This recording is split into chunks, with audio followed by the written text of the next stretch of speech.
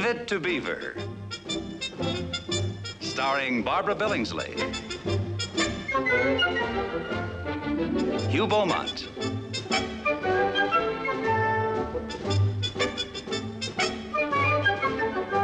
Tony Dow,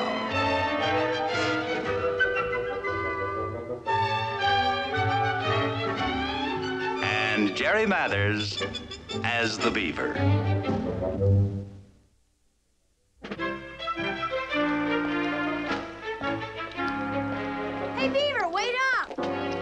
Gilbert. Hi. What do you got in the box? Look, Gee, golf balls. Where'd you get them? I found them. Where? Over by the driving range. Guys are always hitting them over that big wire fence. You sure found a lot of them. Yeah. I would have found more, but a guy came and chased me away while I was finding them. Let's go over to your house and smack them around. With what? With your father's golf clubs. Gee, Gilbert, I don't think he'd let us use them. Let us? You're not gonna be dumb enough to ask him, are you? You mean sneak him out when he's not home? Sure, that's what I mean. Let's go.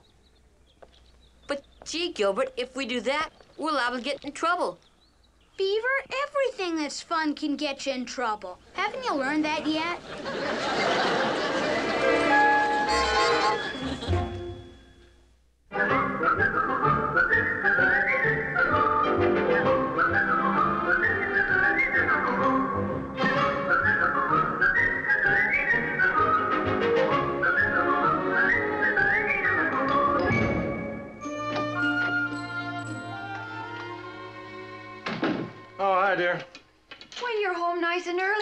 Saturday afternoon. I can tell by the kiss you were in the high 90s. In them and beyond them. I shot a nice bowling score. Not that bad, huh? Yeah, it was disaster. Look what I did to my best driver. Oh, can you have it fixed? Nah, it wouldn't be worth it. Well, Sam Snead always said there'd be days like this. I have a wonderful idea to take your mind off of all of this. Oh, good. You can take me marketing. Oh, well, all right, but you have to take the car through the check stand. I can't bear watching that cash register go wild. I'll get my list. All right.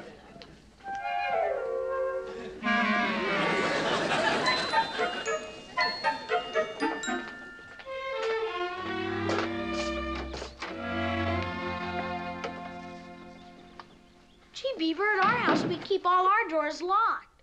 How come? On account of my sister. Who'd want to steal her? Listen, Beaver, if you're a girl and you don't think somebody wants to steal you, you might as well be dead. If I was a girl, I'd want to be dead anyways. Hey, Beaver, there's your father's golf clubs. You think anybody's home? I don't know. Maybe they're in the kitchen or upstairs.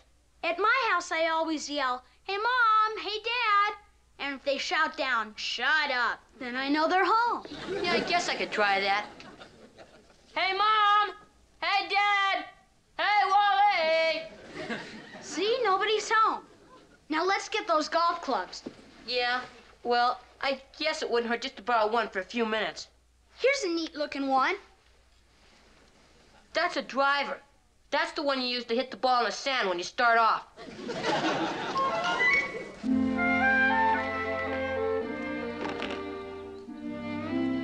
I'm first because it was my idea. Okay, but remember, watch my dad's club. I know, I know.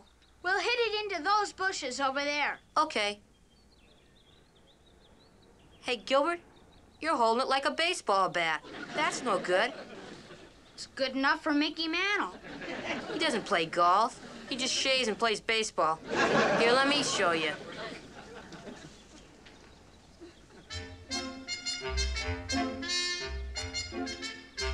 Boy, Beaver, you look like you're a girl doing the hula hula.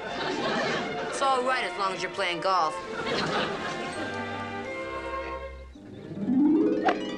And there it goes. Uh-oh, Gilbert, the ball's still there. Then what went into the bushes? It was the top of the club. That's what you get for being a wise guy. Come on, Gilbert, we better find the top. Not me, I'm going home. How come? Beaver, I'm your best friend. I don't want to be around when your father's killing you.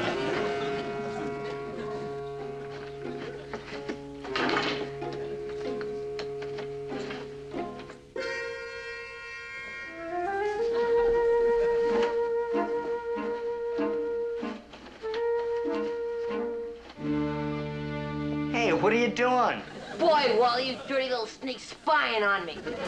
Yeah, Snake. What are you up to, you little creep?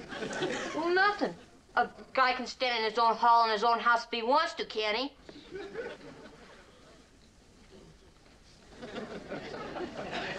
Oh, boy, Beaver. Busted Dad's golf club. Well, it was nice knowing you. Gee, Wally, I didn't do it on purpose. Yeah, what were you doing, hammering nails with it? Uh-uh. Gilbert brought over some golf balls, and we were smacking them around in the backyard. And then all of a sudden, it just busted. Well, I'll tell you one thing. You better tell Dad right away. But he won't be playing golf till way next Saturday. I want to pick the best time. Look, Beaver, when you do something this bad, there is no best time. Well, I figured I could tell him maybe tomorrow, right after church. He yells less on Sunday than any other day in the week. I wouldn't count on that. They might have a sermon about being strict with kids or something. But he Look, won't. Beaver, take my advice. The sooner you tell him and get your punishment over with, the better off you're gonna be. You know, Wally, you're beginning to talk just like Dad. Yeah, I'm not. I've just had more experience being a kid than you have. Dad's gonna find out anyway, so the sooner you tell him, the better it'll be.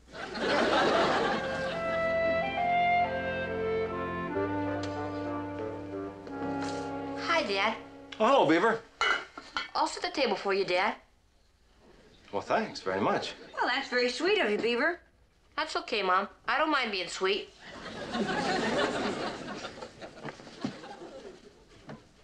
What's the matter? Oh, I uh, was just wondering what he's done wrong. Oh, Ward, can't you just give him credit for being thoughtful?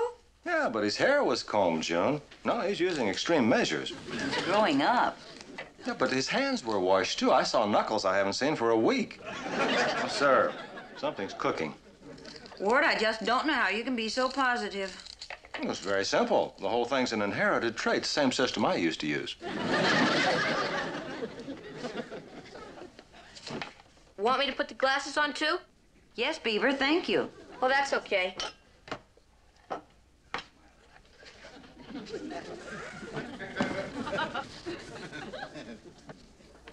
And unless I'm very much mistaken, he'll eat everything on his plate tonight. Well, I'll believe that when I see it.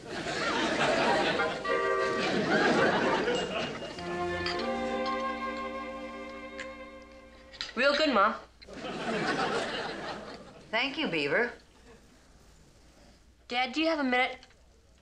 Oh, yes, Beaver. I uh, think I can work you in. I mean in private. Um, you stay here. I'm going out in the kitchen. Wally, you can help me. Okay, Mom. I want to take my jacket off first. I don't want to get it slopped up. I've got a date. Well, Beaver? Dad, you've noticed that sometimes things happen that aren't supposed to happen, but they happen anyways? Well, Beaver, I don't know quite what. Quite... Wally, that's my shirt, isn't it? Oh, um, yeah, Dad, I, uh, I- guess it is. I guess it must have got put in my drawer by mistake, and, uh, and I sort of put it on. Well, you can sort of go back upstairs and take it off. That happens to be a very expensive shirt. All you have to do is go out and play football in it, and I won't have a shirt left. Gee, Dad, I wouldn't play football in it. The season's over. Look, Wally, do I go into your room and borrow your shirts and ties and socks? No, sir, Do you know why I don't? 'Cause they don't fit you. No, Wally. Because I happen to have respect for other people's possessions. Now, I don't place many restrictions on you boys, but there's one thing I do ask, and that is that you leave my things alone. Well, yes, sir. I'm sorry, Dad. I'll go up and change it right away.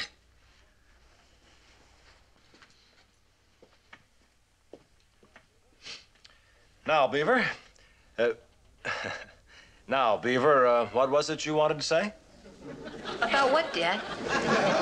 Well, you said you wanted to talk to me for a minute. Oh, yeah, I, I guess I did. What was the question you wanted to ask in private? Oh, well, do you think the St. Louis Cardinals will have a better baseball team this year than they did last year?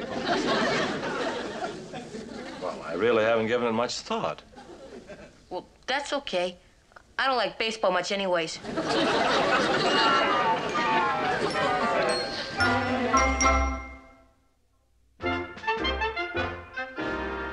Beaver, you still should have told him. How could I after the way he balled you up for wearing his shirt? And how come he had to pick a time when I was in trouble to wear one of his shirts? Look, Beaver, if I had to wait all the time until you weren't in some kind of trouble, I'd be waiting the rest of my life. Gee, I was all set to tell Dad, and now I don't know if I can ever tell him. Well, I'll tell you one thing. I don't want to be around here next Saturday when Dad takes his golf clubs out. I guess he's gonna be real mad. Mad? There's gonna be more yelling and screaming around here than when you were a little kid and you tried to put your marbles in the garbage disposal. Maybe between now and Saturday, I could buy Dad a new golf club. Now, where are you gonna get the money? Cost around 12 bucks. No fooling? Boy, when you grew up, your toys sure cost a lot of money, don't they? How much money have you got? About three dollars. Well, maybe you could buy it on some kind of an installment plan. What's that? Well, that's a system they got so the people who can't afford stuff can buy it anyway. Gee, that's pretty neat. Does it really work? Well, sure it does. How do you think Dad bought this house? He put up a down payment and then he pays the guy who owns the house something every month. You mean we're living in somebody else's house? Well, yeah, sorta. Well, gee, if they got mad at us or something, they could come over here and throw us out. Nah, they can't just come over and throw us out. This is a democracy. They've got to pay a high-priced lawyer to come around and throw us out. Gee, I never knew lawyers had so much fun.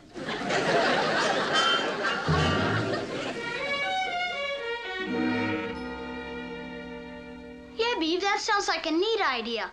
But do you think it works for kids? I don't know. Let's ask. Well, hello, boys. Can I help you? Yes, Mr. Briggs. I'm Theodore Cleaver, and you know me on account of my father, Mr. Cleaver, is all the time coming in here and buying expensive stuff. Oh, yes, Theodore. Well, what can we do for you today? A baseball? No, sir. I was wondering if a guy was going to buy something on time payments, how much would he have to start with? Time payments, eh? Well, the first payment is usually 30%. 30% of what the guy's got? No, 30% of the purchase price. Oh, excuse me a minute, boys. Well, Gee, Gilbert, do you think I got enough money? Well, it's like those problems in school. You gotta figure out $3 is 30% of what? Gee, Gilbert, if I can't do 'em there, I can't do 'em here. You know something, Beaver? I think a kid like you's better off paying cash. I don't have the cash. Well, now, Theodore, what is it you want to buy on the installment plan? A golf club, a speed flash driver. A golf club? Oh, it's not for me, it's for my father. Oh, you uh, want to surprise him with a new golf club. Yes, sir, that's what I'm gonna do. I'm gonna surprise him.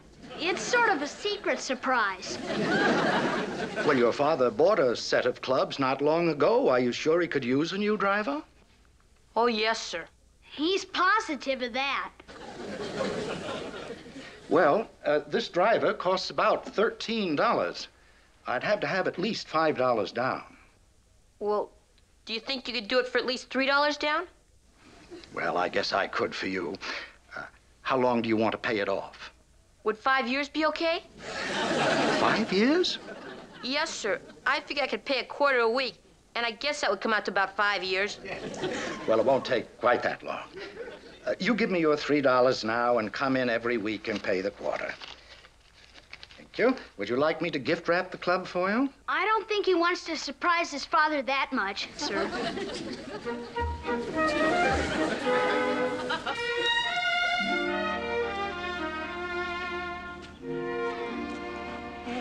that looks almost as good as new.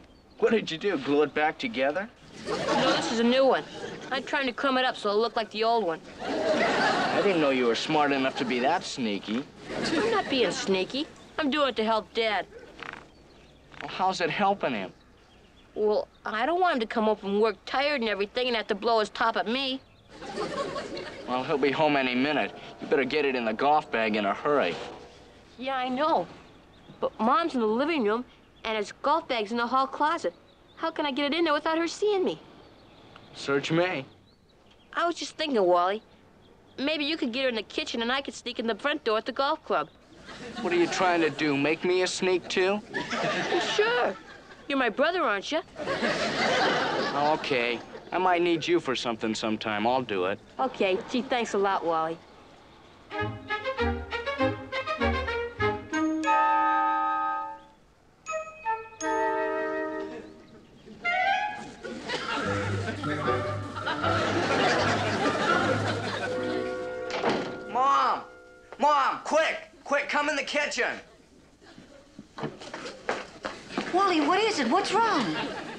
Nothing, I, uh, I just wanted to let you know that I'm home. Wally, I was sewing in the living room. Well, you frightened me shouting like that. Oh, I'm sorry, Mom, but you always told me to let you know when I come home, and, and I didn't want to get yelled at for not yelling.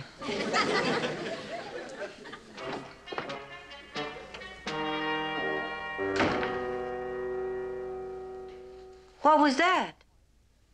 Hmm? Oh, I didn't hear anything. Sounded like the front door. Well, it, um, it sounded more like a car door to me. How could it sound like a car door if you didn't hear anything? Oh, well, um, I didn't mean that. I just meant I didn't hear the front door slam. Could I have some milk, Mom?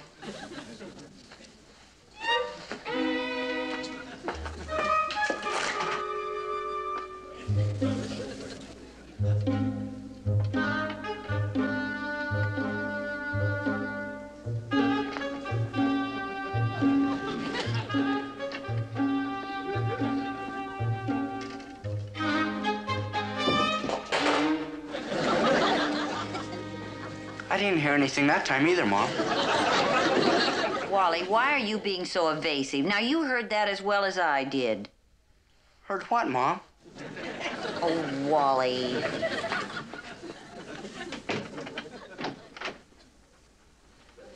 Beaver, it's you. Yeah, Mom, it's me. Why are you walking like that? Oh, well, uh, I was just pretending I was a one-legged pirate, and I'm going upstairs to walk the plank.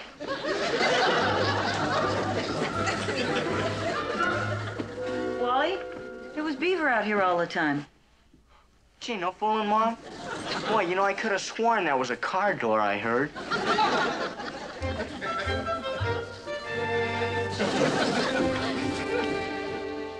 Sam, I thought you always carried speed flash clubs. Well, I, I uh, do, Ward. I, I just happened to be out of drivers. I saw one right here in this rack just a few days ago. Well, there's been a kind of a run on drivers. Always happens this time of year. Oh. Yeah, well, uh, thanks anyway.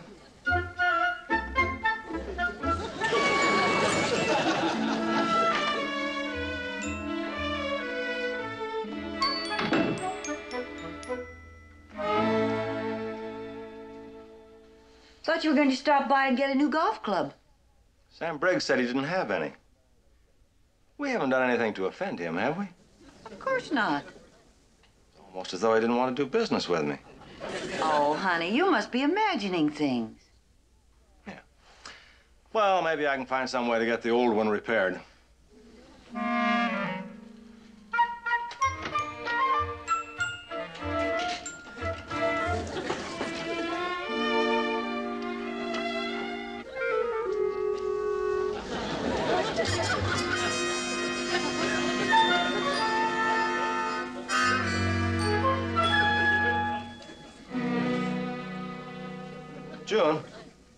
Yes, dear? uh, last Saturday when I came home from playing golf, you saw me wiggle this head, didn't you? Yes, Ward, why? Oh, nothing.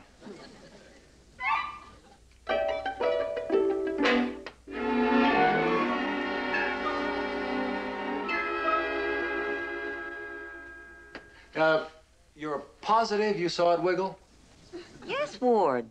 I know a wiggle when I see one. If you just tell me what it's all about. Look, Oh, that's strange. that's my driver, too. Golf club couldn't heal itself. Without a little help. Wally, Beaver. Yeah, Dad? Wally, come down here and bring Beaver with you. You think the boys had something to do with this? Well, I don't know, but it's always a good place to start.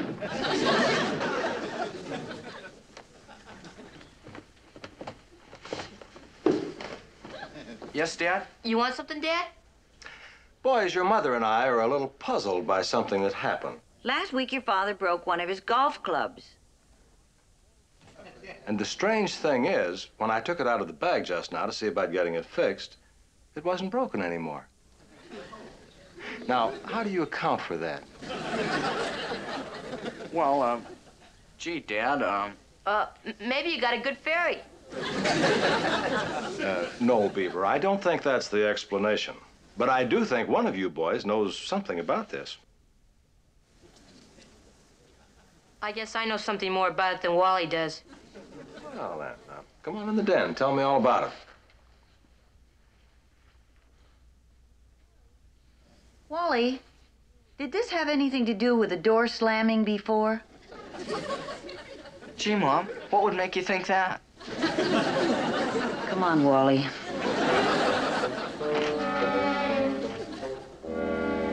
And then I put the new club in the bag and I took the old one out on account I didn't know it was supposed to be broken. Beaver, when you thought you'd broken the club, why didn't you come to me and tell me right away? Oh, well, I was going to, Dad. But then you started bawling out Wally for wearing one of your shirts. And if you got that mad about a shirt, I didn't want to see what was going to happen about a golf club. Naturally, I would have been upset. Boy, Dad, I sure got a bad break not knowing it was broken all the time. Well, Beaver, when you do things like this, you're going to be surprised at how many bad breaks you get. You're old enough to realize, son, that when you do something wrong, we usually find out about it. You know, you're right, Dad. I haven't gotten away with anything really good enough for a couple of years. Well, don't you think the answer then is just not to get into things like this in the first place? Sure, Dad. But most of the time, it only seems like a bad idea when you get caught. Well, the next time, Beaver, you just look ahead a little bit and realize that the chances are you are going to get caught. Then maybe you won't do it. Yes, sir. Dad, am I still gonna have to keep paying for the golf club? No, Beaver, I'll take care of that. And I'll give you your $3 back. But the next time Gilbert comes over here with a box full of golf balls, what are you going to do? Punch him in the nose. I don't think you need to be quite that drastic. Uh, just don't listen to him.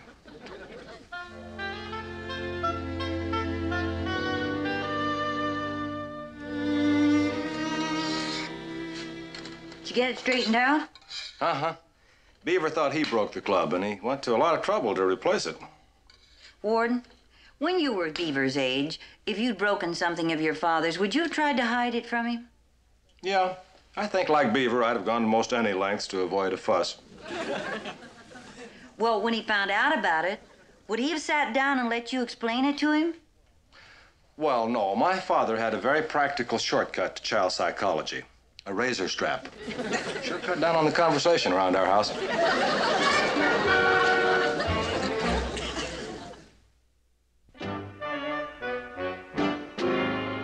Beaver, what are you doing?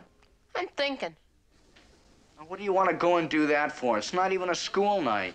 I was thinking maybe I should stop getting in trouble. Yeah, you better watch it, Beaver. You're gonna get it one of these days. What do you mean, get it? Well, you're liable to grow up and have a kid that does the same kind of goofy stuff that you do. Yeah, I never thought of that. But do you know what'd be worse, Wally? What's that?